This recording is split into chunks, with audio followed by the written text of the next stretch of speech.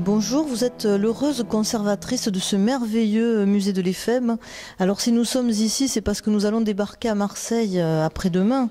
Donc euh, toute la côte euh, catalano-languedocienne avec toute son histoire, évidemment au premier rang desquelles les œuvres d'art grecques. Alors Acte de la grecque, c'est né comment? Alors bien sûr, nous sommes filles de Marseille, mais nous avons une particularité, une particularité de cette région qui est à l'embouchure du fleuve Hérault et qui euh, aussi se déploie vers l'Aude. Cette particularité, c'est que les populations qui ont vécu ici à l'âge du fer, donc à la fin de l'âge du fer, fin du 7e siècle avant Jésus-Christ. Donc on voit des populations qui, vivaient euh, au bord du, fleuve, dans euh, des marécages, avec des petites maisons, ont euh, rencontré à un moment donné des marins qui sont venus d'ailleurs, et on trouve dans une nécropole indigène des vases qui ont été importés de Grèce ou d'Italie du Sud, et ces vases sont dans des tombes indigènes, et ce sont des vases très différents de ce que l'on avait ici. Donc ces vases sont arrivés à la fin du 7e, avant Marseille, avant que la colonie de Marseille existe, avant qu'Acte colonie massaliote existe. Donc ce qui est très important, c'est que ces populations qui vivaient sur ce territoire depuis le néolithique, depuis le calcolithique, l'âge du cuivre, bon, eh bien, commerçaient avec euh, beaucoup de, personnes de la Méditerranée. Euh, après, avant, il y a eu les Étrusques, il y a eu au 7e siècle les Étrusques, il y a eu les Phéniciens. Donc euh, ces, ces, grandes civilisations de la Méditerranée venaient puiser dans les, dans les hauts territoires, donc le massif central, du minerai. Hein, le métal avait une immense valeur à cette période-là, et donc on venait chercher l'or, on venait chercher le cuivre, et donc ces populations commerçaient, faisaient du commerce de, sur l'héros.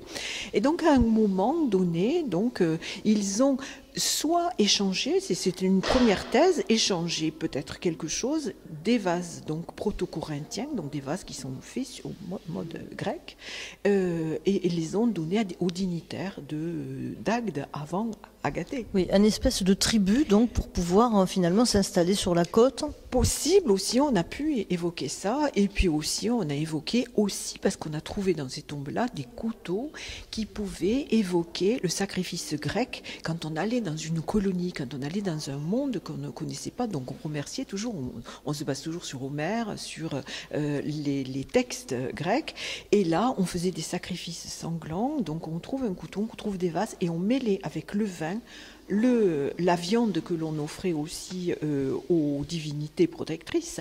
Et euh, donc, il y avait ce rite grec qui était donc, euh, qui, sont traduits par ces vases et, et, ce, et ces, ustensiles qui pourraient nous dire que ces Grecs ont fait des, sacrifices et donc ont évoqué les dieux à cette période-là.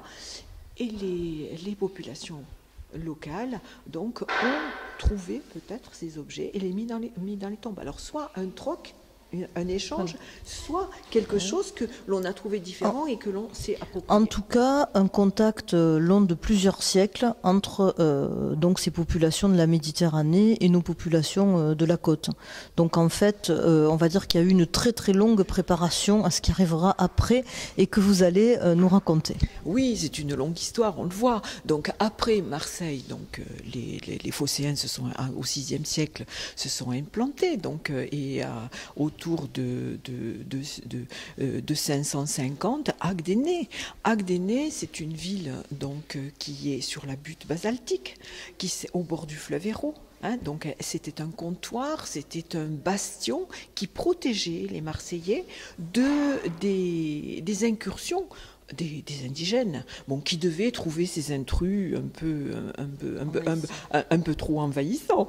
Donc, ils, ils, essayaient de les, donc, de les canaliser et de protéger justement ce commerce marseillais qui allait jusque-là. Et vous pensez que ce nom, donc, donné à, partir de la Gate à Agde, c'est la couleur des eaux du fleuve Hérault Oh, je sais pas, ça je peux pas gâter, mais enfin, on, retrouve dans les textes euh, antiques donc le le le, l'aurus, donc euh, le, il y a presque hors dedans, hein, donc euh, l'Hérault, hein, qui était donc le fleuve qui était un fleuve bon reconnu, bon troisième, on n'a pas des textes plus anciens malheureusement. Donc je peux pas dire qui est l'Agathe, donc Agathée, c'est la c'est la, c'est la déesse donc qui était la déesse tutélaire d'Agde, mais qui était aussi celle qui permettait d'installer une ville.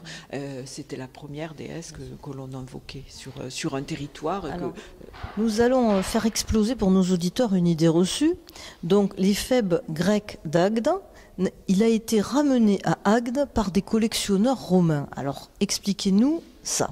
Alors, les, les, et tous les bronzes que nous allons voir, parce qu'on a beaucoup de bronzes. C'est le, département de bronze du musée archéologique sous-marin d'Agde et euh, le, le, plus grand département de bronze d'Europe trouvé in situ on enlève la Grèce, on enlève l'Italie, mais bon, les autres sont des, des, objets qui, sont, qui ont été rapportés récemment au, cours des fouilles du 19e et du 20e siècle. Alors que nous, ce sont probablement des riches marchands romains qui, lorsque Marseille est tombée, donc la, la, région agatoise s'est romanisée.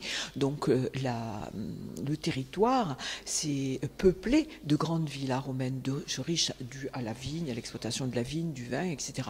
Et donc nous avons dans ce cas-là des personnes qui se sont enrichies. Nous, on peut dire que la villa d'Ambonne, à côté, l'exploitation de basalte qui date du deuxième avant et qui a perduré au premier, à la période augustienne, vraiment, où on voit une villa riche, due probablement au commerce du basalte, puisqu'on trouve des meules de basalte d'Agde, en Sardaigne, on l'a analysé, des, scientifiques l'ont analysé, euh, on en trouve en Corse, on en trouve jusqu'à ce que euh, la Méditerranée du Sud, c'est-à-dire les éoliennes, avec le, volcanisme éolien, mmh. euh, prennent le, bon, le relais de l'Italie du Sud.